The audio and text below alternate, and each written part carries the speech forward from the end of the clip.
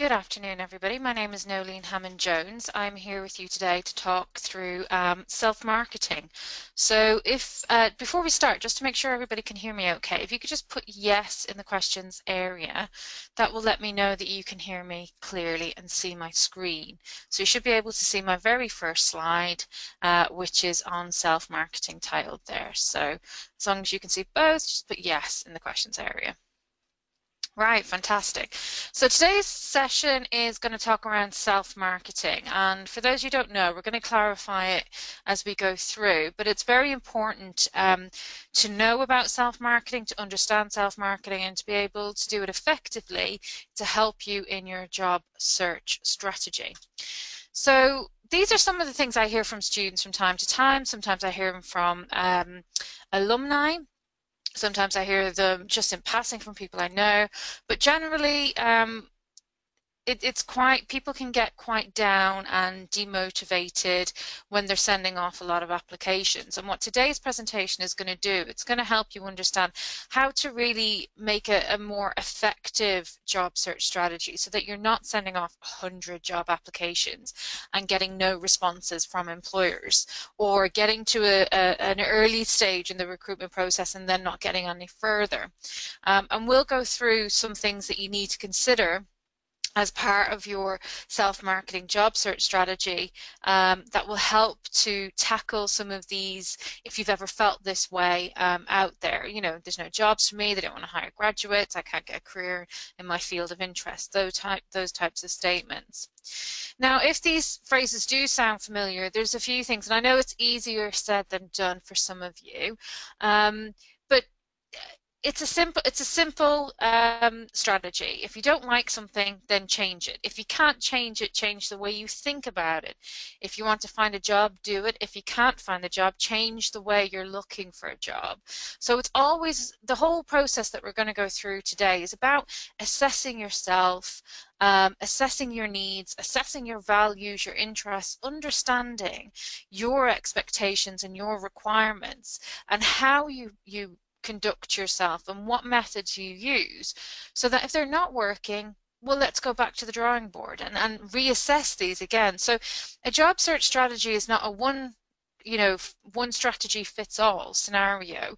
It is a case of everybody is different how people um, take in information, how people uh, research, how people uh, conduct themselves, how people articulate themselves. Everybody is different, but we can give you some key tools and key areas that you can look at today um, to manage that process effectively. Um, so moving on, just to give you a quick definition of what is self-marketing. So self-marketing is sometimes called personal branding uh, because it uses branding tools to create an image around an employee rather than a product. It gives candidates more opportunities to effectively communicate their values, skills, and experience and vision to potential employers. So for those of you out there who are familiar with marketing, whether you've done marketing modules, whether you've done um, a marketing degree like myself, uh, you will be familiar with marketing principles, the basic marketing principles. And when you're going out there to the job market, one of the things I advise my students when I see them is thinking of yourself as a product. And how are you going to get you as a product to market? What are the best channels? How are you going to communicate that to employers? What are you going to say about your product? What, what value are you going to add to those people? So there are three stages around self-marketing, three stages I feel, and everybody's different, but I feel that these are very important to really be able to, at the end of this process, articulate yourself to an employer and get a very good um, career match for yourself. So the first stage is around self-awareness, then around self-evaluation, and then career matching. So self-awareness, some questions you can ask yourself. How do you behave in different situations? How do you do others think you come across? What motivates you? What demotivates you? What really matters to you? So these are some of the questions that it's worth understanding because getting an understanding of how you behave in certain situations can help you to determine what kind of organizations you want to work in. If you if you're someone who's comfortable in working in diverse teams if you're comfortable working in large organizations small organizations if you're someone who just wants to get on and do things or if you're someone who likes to be kept in the loop constantly by an employer or a manager um, and keeping people up to date on what you're doing. So some of these questions can help you to define how you come across now. But also if there are any issues issues around um, how you come across, then you can start to address them. So, you know, we all know that person who, um, in a situation, can get very stressed, may say things off the cuff, um, who um, may be inappropriate at times, but are they self-aware? Do they know that's how they come across? Do they know what tone of voice they're using? Do they know that they're upsetting people as a result? And you could be that person. I could be that person. It's all around self-awareness, understanding who you are and how you influence and how you make others feel around you. Um, and that can be your body language, your tone of voice, the language you use, um, your energy, uh, how you perform under, you know, in stressful situations. And these are things as well that you can adjust. So if you are somebody, for instance, who's very quick to comment, taking that extra moment or two to absorb the information, form, a, you know, an articulate comment before you then speak out loud. Um, and this is something that you can learn over time. So self-awareness is a, an important part of of this process because it's important to understand, you know, if you do get to that stage where you you're being interviewed by an employer, how are you coming across? Are you coming across as someone who's going to do well as part of a team? Because let's be honest, most situations in large organizations, even SMEs, and particularly in SMEs because the teams may be smaller, you need to be a team player. And if you're not a team player, then you need to be applying for jobs where you basically are, are all but working for yourself. Um, so again, it's an, an, essential part of the whole self-marketing exercise. So when you're doing the self-evaluation, which is the next step, once you understand who you are and how you come across to others and how you influence others, it's important to have some specific parameters. And those are around skills, values, and interests. So using your self-awareness to consider, you know, which you would rate high and which you would rate lower. So understanding what is important to you, what really gives you energy and gets you going and really excites you, um, and what maybe isn't that important to you or doesn't really get you out of bed in the morning. So it's it's important to understand what your motivators are and what your values are. So just to give you an idea, I have some interests here. Your interests or motivators, as some people call them, are things, uh, uh, this is according to Career Leader now, which is a, a, a, site that I used to use a couple of years ago, which can be quite um, good for those who are studying an MBA but it gives you an idea of the types of interests out there, work-related interests that may get people going. And those can be those of you who are really energized by new technologies and analyzing and designing business processes. Maybe you're somebody who really likes dealing with numbers, who's, who's really analytical. Um, or you could be somebody who's, you know, high level, abstract, big picture thinking.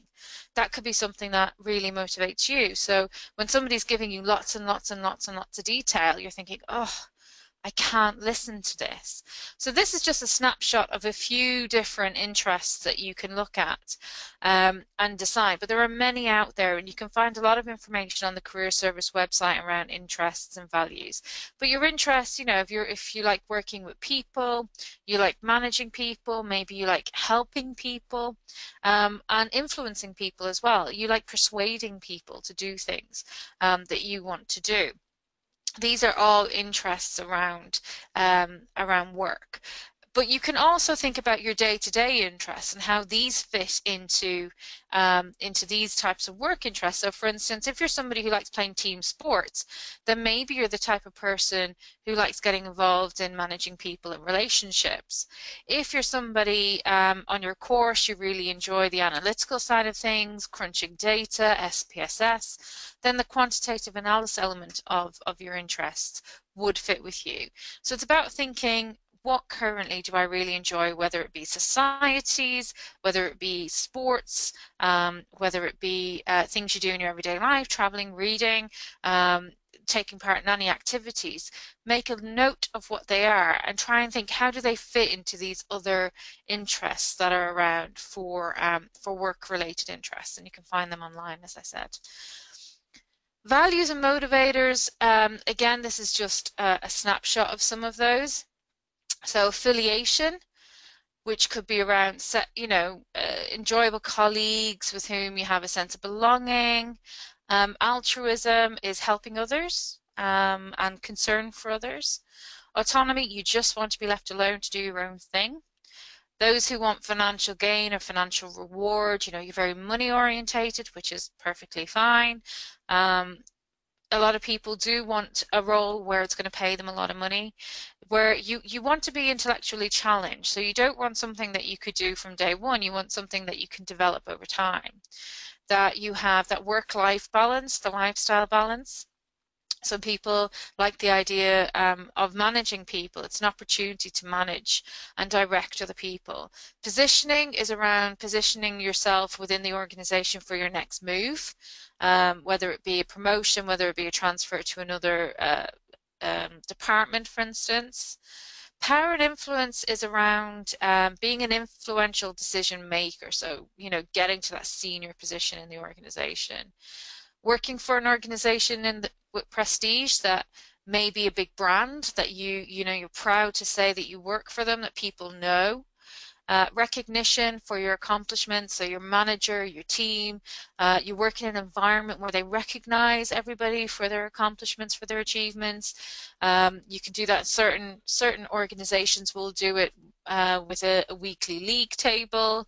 Um, some will do it with a bell on the desk. Everybody rings a bell when they've made a sale. Um, there's lots of different organizations that do this differently. But this may be important to you, and it's important to read through these values and motivators and figure out, well, which one of these is important to me job security. I mean, in uncertain times, it's, you know, jobs are getting less and less secure everywhere. But this may be something that you would um, put high on your priority list above financial reward and variety. Sometimes um, I get, I actually sometimes have appointments with students where they'll go, oh, no offense, I don't want a nine to five job like yours. And I'm thinking, well, my job isn't really nine to five. Um, I don't sit in an office all day every day. I'm I'm around Manchester. I meet different people. Sometimes I travel overseas. I meet um, students from all over the world. I meet companies from all over the world. Uh, each day is different. So again, being careful of making assumptions that certain job roles are a certain way, um, you know, a nine to five office job and, and branding a, a variety of roles as a, oh, it's a nine to five desk job, that's not for me. Because once you do your research and you delve a little bit further into organizations, you can figure out actually they do have a variety of roles that offer a variety of different um, experiences. So these are values and motivators. And if I were doing a session with you now in a classroom, I would probably give these out to you on a card. Um, and I would ask you to arrange them in priorities. So pick your top four that you think are the most important to you.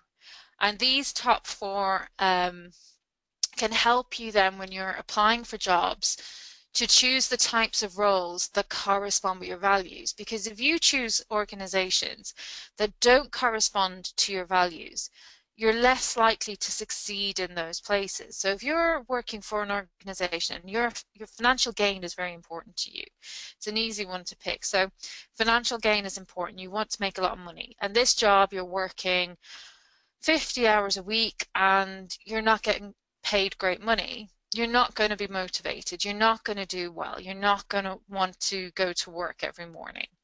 Equally, if you're um, if you're the kind of person that likes autonomy, just leave me, tell me what I need to do, and then leave me to do what I need to do. I'll get it done. I'll hand it back to you. But yet you're in a, a situation or environment where people work very closely as a team, and th this, these are the phrases you need to look on job descriptions: closely as a team, um, where there's the possibility you might be micromanaged. You can't always know, but sometimes reading the job description thoroughly can give you an indication But if you work closely as a team and you're going to be micromanaged, again, this is an area where you would probably find it very claustrophobic, uh, you feel very uncomfortable. So understanding what your values are, again, can help you. Also, it helps you to articulate to an employer what you have to offer. You know, I'm the kind of person that's very driven, I'm very motivated. Um, I, you know, I, have worked in a variety of different places. I can turn my hand to a lot of different activities. Um, you know, I, am I'm very influential. I'm, I can persuade people. So these can help you as well to identify skills that may be of benefit to the employer. Okay, so we're going to move on to skills. And these are some of the skills that, having spoken to um, some students, it's it's it's important to know if you're good or not good at these things. And again, you can think about that. Think about the roles and the activities, societies, clubs you've taken part in, any volunteering that you've done. What skills have you used as part of those roles? Again, you need to know this because you need to be able to tell the employer. If I'm hiring you and I've spent thousands of pounds on a marketing um, recruitment drive and I get a large number, say a thousand applications from a thousand graduates across the country for one position, the one thing I'm probably going to want to know more than most is A, have you got the qualifications and do you meet the criteria that's in my job description? And B, what are you bringing to my organization? Why should I hire you? Why am I going to spend my money on you? And that's where understanding what your motivations are, what your values are, understanding what your skills are, and being able to um, articulate those to an employer important. We've had uh, situations uh, before where a student said to me, as I said earlier on in the slide, you know, I've applied for 300 jobs and I've had nothing back. And I've said, well, you know, have you looked at your CV? What are you putting out there? Oh, no, no, I've just had it redone. It's great. It's great. And when I, I, I always said, just send it to me. Just let me have a look at it and I'll see. Um, and when I do look at the CV, nine times out of ten, there is something seriously wrong with the CV. It's either too lengthy, so it's like a novel, which no employer is going to have the time to read. It doesn't identify the key areas what in what the employer is looking for in a candidate. It doesn't highlight what skills, what values they're going to bring to the organization. Um, and sometimes CVs can be so creative in terms of design, you miss what it's actually trying to say. So it's getting a balance of having a great CV that's to the point, but yet still sells across to an employer effectively your value to the organization. So looking at the different skills that are available here, just to give you some ideas, the best ways to think about um, communicating these to an employer is through uh, your CV. And your CV, everything that you do, everything that you say about your um, ability is around evidencing this ability. So you can't just say, oh, I'm really good at delegating how are you good at delegating? Give me an example of how you're good at delegating. And how you could do that on your CV is led a team of 15 people on a project through um, through the I don't know debating society, delegated to 10 of those individuals key tasks which resulted in the effective launch of an event, for instance. So it's around showing the employer that I have these skills and mentioning these skills. And equally, if the employer has mentioned these skills in their job advert, then you need to reflect that language and reflect those skills in your CV if you have them. But don't just say, especially in the profile bit, I'm an enthusiastic, passionate individual who's a university student at the University of Manchester. It says nothing to me. I can see you're at the University of Manchester because it should already be in your education section. What I want to know is if you've had any prior experience. So sometimes we have students who come here to do a master's course who may have worked for two years in a particular industry. I would have on that CV instead um, a professional graduate with two years work experience in, and you don't have to say industry, but you could say in the Middle East or in the USA, um, in a very high profile organization in its field. That tells me a little bit more about you rather than something I'm passionate, I'm blah, blah, blah. Does that make sense to everybody? There's a lot to take in in terms of values and skills and motivators. So I, I just want to take a, a little break there and ask, have you any questions at this stage? So if you do have any questions, just put them in the questions area.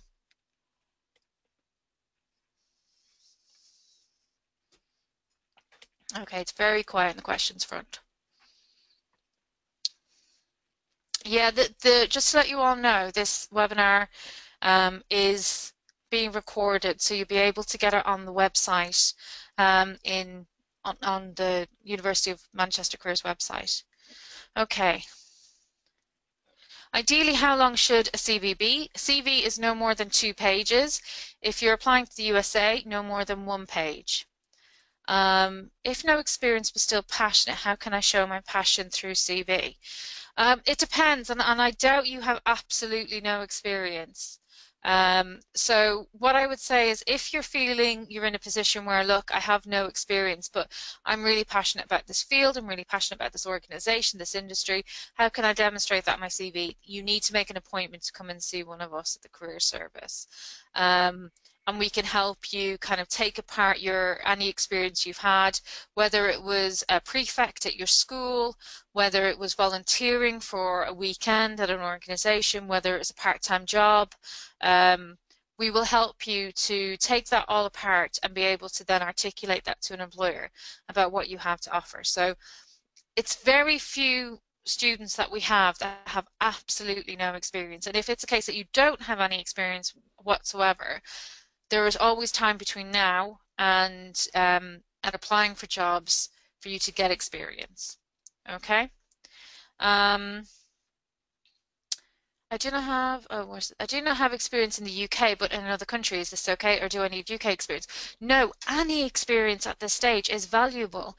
Uh, for instance, I had a, um, a, student from South America who had eight years experience. They were studying a master's course. They had eight years experience in an unrelated field to what they were interested in, but we managed to articulate that on a CV so that that experience and the skills they used in that role would be beneficial to the role they were going going for. So it doesn't always have to directly relate, but any experience at this stage in your career is absolutely relevant. And it doesn't matter where in the world. I mean, you've got to think globally um, where we're at in the world. The world is getting smaller in the sense that businesses are operating online they're operating in lots and lots of different countries um, so it's it's you know it's it, you need to be able to um, I suppose, conduct yourself in a variety of different settings. And having that experience in another country in an industry can be beneficial to a UK organisation.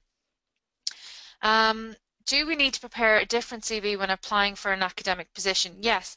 Every single role you apply for, you must prepare a CV. There is no such thing as one CV for every job because I guarantee you uh, an experienced recruiter will spot straight away that you've not spent any time applying for that job. You may have, have put together a covering letter, but in terms of the CV, you've not made any amendments to the CV to directly reflect the job description. So every every job that you apply for, you must tailor the CV to that job, and you do that by assessing what have I done in this role, what skills did I use? Do those skills correspond to the skills asked for in the job description? If they do, great. If they don't, where else have I got those skills? Have I got that on my CV? Have I made that clear on my CV? For instance, if they say languages is an essential criteria, and you have languages at the bottom of your second page, you need to move that to the, to to your first page. It's like a good book. Um, and an employer's only going to read on if they feel that you've got something to offer them. So it's all around uh, preparing your CV. And we've done sessions recently online. We have a, a webinar that's available on our website, um, CVs, and it'll talk. It, it's a great session that we did last week. talks you through how to prepare a CV. Um, I'll show you in a moment where you can find all those recordings, but they are available on our website. Um, and I would say as well, if you want to make an appointment with the career service to get your CV checked, there are a couple of different ways you can do that. So you can either um, see a careers consultant in the schools. You have careers consultants in each of the schools, uh, and you can make an appointment to see one of those through Careers Link. You can drop into the atrium on the first floor in University Place and make an appointment through the information team there to see a careers consultant.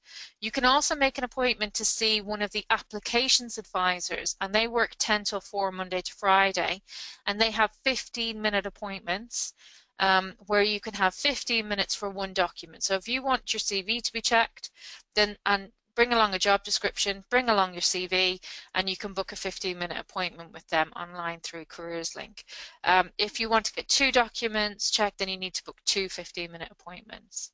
So those are the different ways that you can get appointments through the career service. Now, if you are graduated, if you were overseas, if you're not in the country for any reason and you can't see us, we do offer telephone appointments and we offer Skype appointments. Um, we also offer appointments to those graduates who are up to two years graduated. So you have access to our services for up to two years after you graduate because, you know, we don't always get it right first time. You might end up in a job you're not happy in, or you might end up in a job you're very happy in but don't know what the next steps are. So again, we can help you with that. And you can find all our contact details on the website. If you just Google Careers University of Manchester, you'll come across our website. Okay, so I'm going to move on now. I hope that was useful. So some questions to ask yourself around self-evaluation. Where geographically do you want to work? And the more flexible you are about this, the better. So for those of you who are international students who say, well, I want to work in the UK, we all know the visa situation is very difficult. Uh, the visa situation is not going to get easier. Uh, it's probably going to get even more strict. Um, so you need to have a plan B and a plan C. The plan B could be doing a 12-month internship in the USA on a J1 visa. Hopefully Donald Trump will not get rid of the J1 visa we don't know, um, but we've still got time. So you've got the option of a 12-month internship in the USA. You've also got the option of um, looking at roles back in your home country. Now I know that sometimes doesn't appeal to students because some of you have chosen an overseas education to get an overseas career, but you've got to think practically about what you're offering an employer. Are you competitive in the UK market? Do you have something that you can offer an employer here in the UK that a UK or an EU student currently cannot offer? If you do, fantastic. So those of you who've had prior experience, you're at an advantage. Those of you who've not had prior experience and don't have much more to offer, I would encourage you to look at industries and companies in your home country, especially those who are international organizations, and then consider, okay, if I go home, get a job at an international organization, work for three to four years, build up my global network through my um, peers from university, but also um, professionals that I may meet as part of, uh, of my role in my home country, build up your global network, build up your expertise, build up your reputation, and then in three to four, five years' time, you have something more to offer an employer overseas. Equally, international organizations can sometimes, not all, but most, do offer you the opportunity after a fixed period of time, two, three years, the opportunity to apply for jobs within the organization overseas. So again, it's about thinking sometimes you're not going to get everything you want up front. Um, so it's having that plan B or that plan C. So that plan B is I need a little bit of international experience I might go elsewhere in the world and then go home. Or I want to have an international career. I might not be able to do that in the UK straight away. What I'll do is I'll look at my home country, see if I can get a role back there, build up my experience, build up my reputation, and then move internally within the organization on an intercompany transfer visa rather than trying to apply for a visa from outside the country um, as any other applicant, international applicant would do. Does that make sense to everybody? I have to remember to take a breath when I'm doing this. So um, I'm very passionate about opportunities for international students. Um, I think those of you who want to work overseas, whether you're a UK or EU student or those international students who want to work in the UK, it can be difficult, but you do need to have a smart student has several plans of action that you can take. You need to have a robust plan because things change. Um, things don't quite go to plan as we found out today. Um, things don't always happen the way you think they're going to happen, so you need to be able to address those when it does happen. Um, so if you, your plan is to stay in the UK, great. I'm not saying don't do that, but what I'm also saying is have a plan B and a plan C. Um, I don't see any problems for at the moment for EU uh, graduates applying for UK jobs. Um, I'm EU and I work in the UK, so um, I don't see any problems at the moment. I don't think it would be to the benefit of, of the UK to do anything that would jeopardise EU workers here in the UK, uh, especially if you're of a highly skilled profession, which graduates will be highly skilled um, because you're, you're degree educated. So I wouldn't think there's any issue right now. Okay. Uh, think about the size and type of organization you want to work for. Thoroughly research these organizations because a lot of these organizations will very clearly state on the website what kind of organization are. They have their own values as well. You know, what do they value in terms of social responsibility? What do they value? Um, around uh, you know the types of people do they develop their um, their employees? Do they have a real family culture? Because these can be really important to you. If you're the kind of person who does well in small teams, small organizations, then maybe a large international organization is not for you. Um, and also as well, do, do you want to work for yourself? This is also a consideration. Are you the kind of person who's a self-starter? Do you, do you not want to rely on anybody else? You, have you got some great ideas that you just need to implement to start up your own business? Um, so again, think about what suits you best. I just have another question here. Um, what do you think about teaching if you've already obtained two master's degrees and were socially engaged before? Does this still increase your chances to be employed in certain fields? Um, I don't really know what you mean by that, to be fair. Um, I don't think it's the number of master degrees that you have, and I don't know what you mean by socially engaged. Um, I think the more experience you have and the more qualifications you have certainly increases your chances in some fields, but it depends because not all areas, not all industries value lots and lots of qualifications. They may value, you know, the minimum a degree qualification, a master's is a bonus, uh, but what they're really looking for is experience. You know, what have you done outside of your academic studies? Um, but it depends. If you're going into an academic arena um, and you've got plenty of academic research behind you and academic qualifications, then it probably is an advantage. So it's all around researching what it is you want to go into talk to people as well in these organizations. So if you're interested in teaching, speak to people. We have lots of events on campus um, called Meet the Professionals. We have uh, lots of companies that come on campus. We have Teach First that come on campus um, to do sessions with us. Have a look on Careers Link and, and talk to these people when they're here. You know, get the information directly from them. What do you value from a potential candidate? What are you looking for? Would two master's degrees give me an advantage over another candidate? And, and we, you know, we are the most targeted institution by employers in the UK. So it is worth checking on Careers Link what is happening, what companies are out there, what are they doing because some some of these companies, especially those that have offices in Manchester, also have what's called open evenings or coffee chats where they'll open up their offices to you on an evening to come in, network, meet some employees, have some drinks, have some food, and find out a little bit more about the organization. So do your research um, before you apply for anything and really have a look at Careers Link and see what's on offer out there. So career matching. So we talked a bit about self-evaluation and self-awareness, understanding who you are, how you influence others, how you come across, and what's important to you in terms of your values and what your your abilities are in terms of skills. You need to create three objectives. Um, and this is my plan A, my plan B, my plan C, D, E, F, G, H, I, J, K. Um, so you have an idea of the type of role that you want to go for. Um, you have an idea of the size of company that you want to go for. And this is after a lot of research. Um, you know, you have an idea of the type of location that you'll consider. Maybe you have three top locations. Then you need to have your ideal choice, your nearly ideal choice, and your fallback choice. And this is what I'm talking about having a robust plan because you may end up with your fallback choice, but that doesn't mean your ideal choice is not possible. It just means it may not happen for a couple of years. You know, I started off as a nurse. I'm now an international career consultant. I had a very strange journey on the way to becoming an international career consultant. It wasn't a direct route.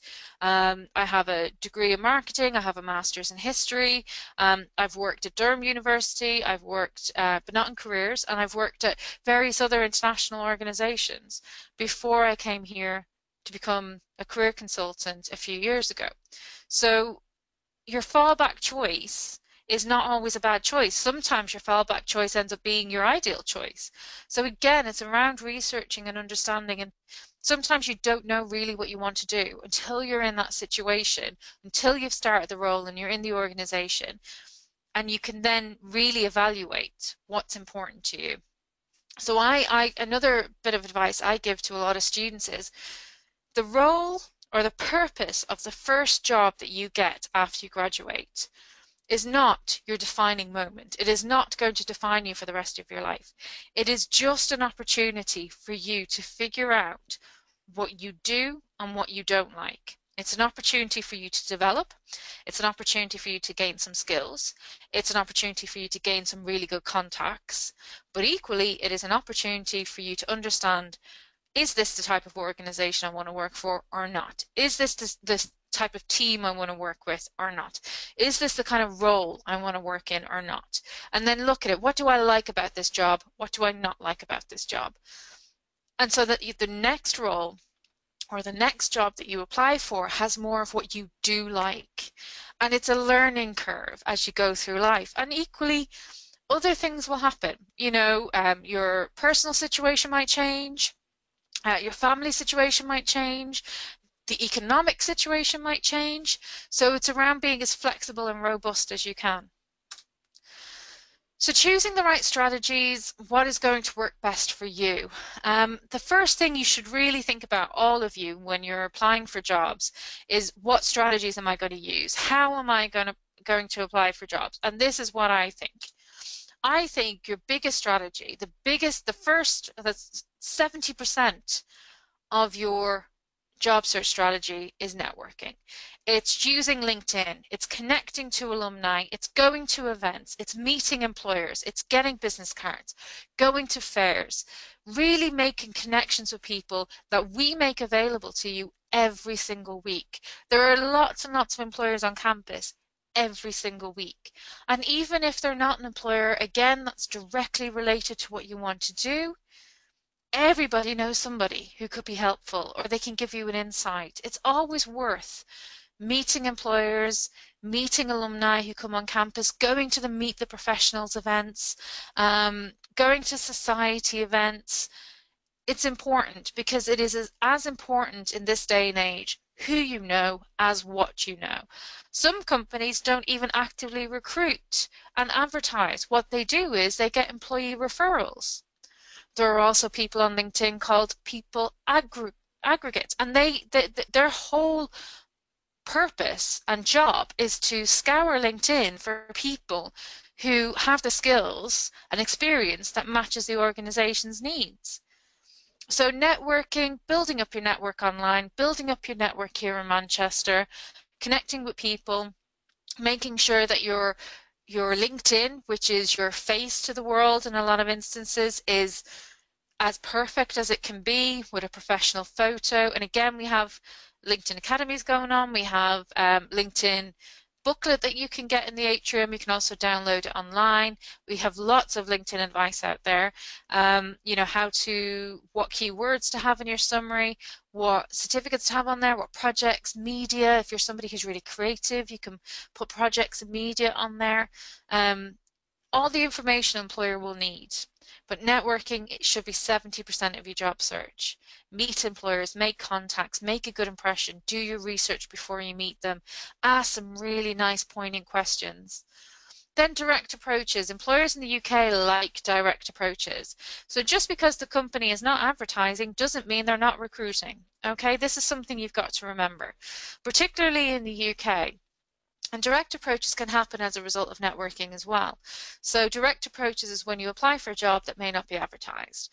You find a company you really want to work for, you send them your CV and your covering letter, and your covering letter lays out very clearly to them what you are offering the organization. So your first paragraph, what about the organization really motivates you, inspires you, makes you want to work for them. Second paragraph, what are you bringing to the organization? What values, what skills, what knowledge have you got that they're really going to benefit from? And the third paragraph, I look forward to hearing from you. And direct approaches can show a lot of initiative, it can show strength, it can show leadership, it can show that you've got a lot of skills that this organization might be looking for. I, I and this is just my recommendation. Everyone is different how they approach their job search. Some people don't feel comfortable networking. Some people don't feel comfortable with direct approaches, and that is fine. That is absolutely fine. Other ways may suit you better, but these are just some recommendations from me. A lot of companies as well are advertising through social media. Now they're not recruiting as such through social media, but they have social media elements to their organization. So they will have their own careers Twitter feed or they'll have their own careers Facebook um, tweet uh, uh, or, or they'll have their own, um, I don't know, LinkedIn careers pages. And that will then lead you to their company website where you can apply online. So it's, you know, social media can be really useful and very current as well. Recruitment firms are only good for those of you who have experience and who are UK residents. Uh, I get a lot of students asking, should I go through a recruitment firm? Recruitment firms are salespeople. Their job is to get good candidates for their client who is paying them a lot of money. Unless you already have a visa to be in the UK or you're a UK resident or you're an EU citizen and you have two to three years work experience, it's very difficult um, for recruitment firms to be an option for you. And then your last option should be online jobs because that's where everybody else is going. That's where your competition is going to increase tenfold. So it should be your last option, but it is a good research um, area to look at because it will let you know what the current labour market is like. Are there a lot of jobs out there in your current field? Okay, so do your research. I've mentioned it several times. I know some of you are getting to the stage where you're preparing for your dissertation, or maybe you've just handed in your dissertation. You're thinking, I never want to do research again. I'm afraid more people research their next holiday than they do their own career. Um, so there's more and more research ahead of you. Uh, prepare your tailored CV and have a chat with us in the career service if you're not sure how to do that. Uh, prepare your covering letter. And again, we have so many um, facilities online that will help you write a CV, that will help you write a cover letter. Um, prepare and practice for interviews. Again, I see so many people come to me and go, oh no, I'm totally prepared for interview. Got all my answers in my head. And when I ask them a couple of questions, they go, uh, um, actually, maybe I'm not as prepared as I thought I was. If something sounds fantastic in your head, say it out loud because sometimes when it's in your head, it doesn't always come out sounding as good as you thought it would. So practicing, getting a friend who may be really good at drama and who likes to um, put you through the mill is a good idea um, to get them to help you with your interview practice. And prepare your pitch. If you're not sure what a pitch is, it's just a two-minute, you know, intro about yourself. It's, you know, who you are, where you've come from, why you chose Manchester, um, and where you hope to go. And it's just a, two-minute intro that you can practice yourself. And articulate your value to the company because if you don't, nobody else will. Nobody else is going to tell the company why you're a good fit, why you're a great candidate, why you'd be great for the organization, what you're going to bring to them. If you have the barest of information on your CV that says, oh, waitress in restaurant, served customers, answered phone, made bookings, uh, served food, that's not going to tell me anything about you. I don't know as an employer. You don't even sound happy about it. So if you're not enthusiastic and you don't want to tell me what value you brought to that job, your enthusiasm, your passion, the fact that you could deal with complaints, the fact that you understood the, the um, restaurant's health and safety policies and you were able to give great feedback to customers, you were able to describe what was on the menu. These things tell me a little bit more about you and portray your passion to me about the work that you do. So it's all about how you sell yourself to an employer, how you sell your skills, your values, um, why it's ultimately, I'm going to spend money on you, why should I hire you? And if you can't tell me, nobody else can. Okay?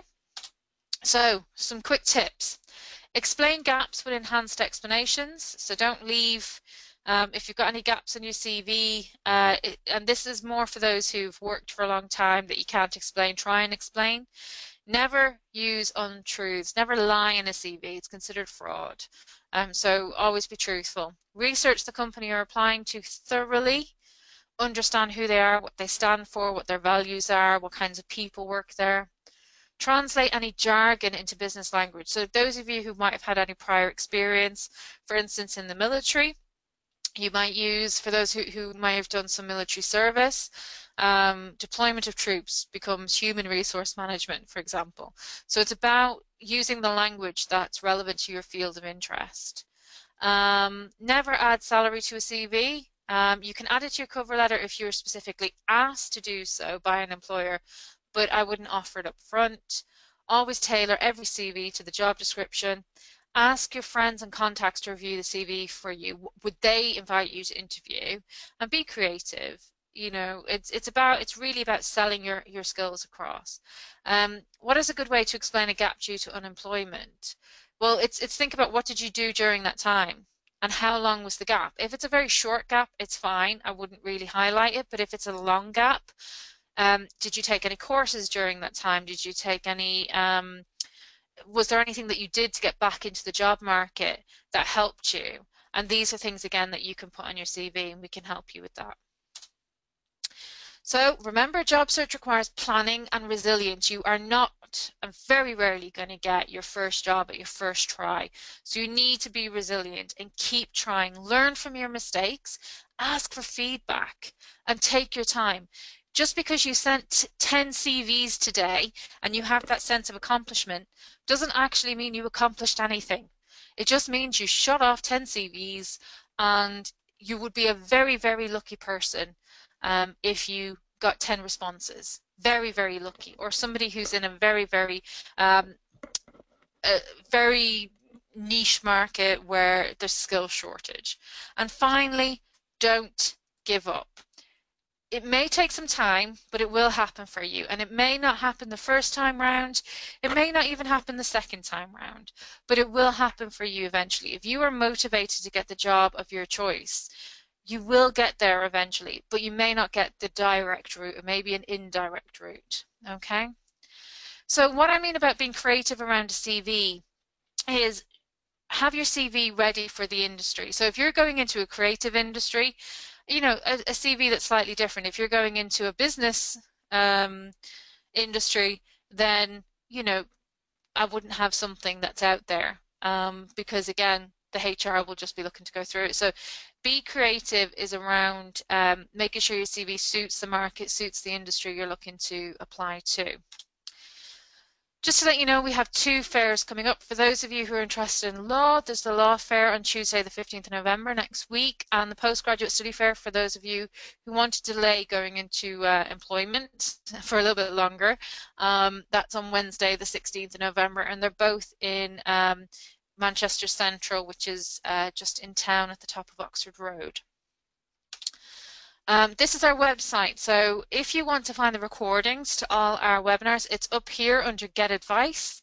Uh, you'll see once you click on Get Advice, you'll bring you on the bottom will say Downloads, and you can have a look at everything there that you can download. Equally, international students, everything you need to know about visas, working in the UK during study, working in the UK after study, and everything everything else that you may need to know is under international. Um, which career, find job, get experience. You can see here just by the top tabs, there are so many things that you can find to help you. CVs, covering letters will be under applications and interviews. If you're not sure what career to go into, there are some great online tests that you can take that will give you ideas based on your skills, your interest, and your degree program what kind of careers might be suited to you.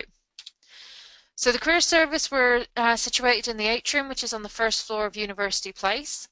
Um, we're open all year round during the summer for those of you doing a master's course, and you have access for two years after graduation uh, by phone, in person, or Skype.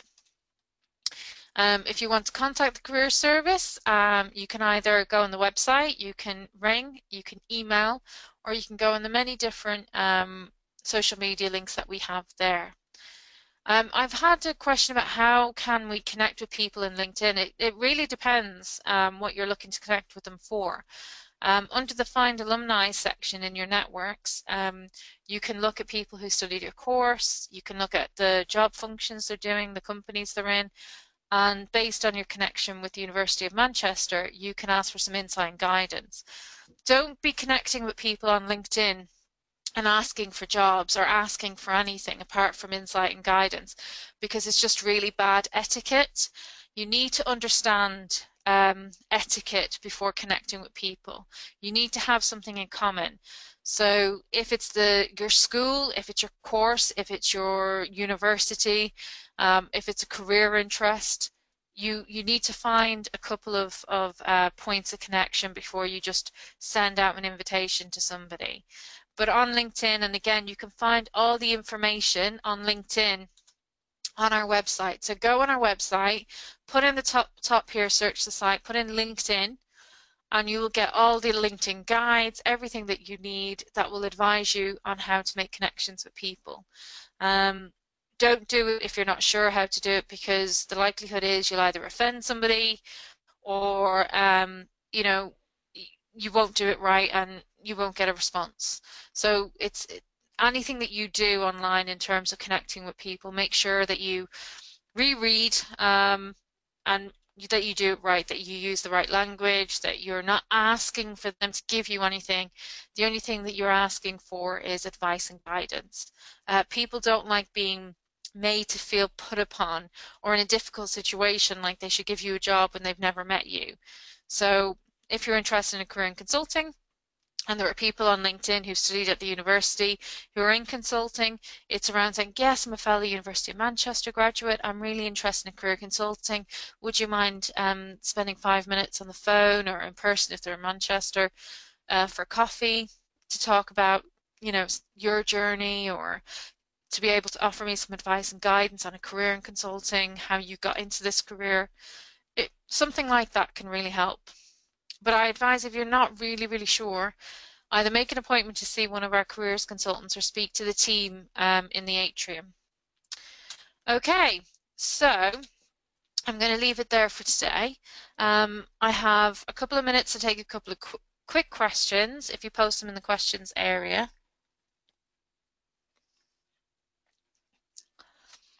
If you have any questions at all, just put them in the questions area. And thank you all um, before we go just for coming along today. I hope today's session's been useful and you've managed to get some, you know, good information today, some useful information that you can go away and use um, in your job applications and self-marketing. Um, but if you do need anything else, do pop into the atrium to see us um, and make an appointment there to see either myself or one of my colleagues who looks after your schools. Okay, so no questions are coming through, so I'm going to end the session there today. Uh, have a great day, everybody. And um, as I said, the session's recorded and should be available on the website in the next couple of days. Okay, thank you.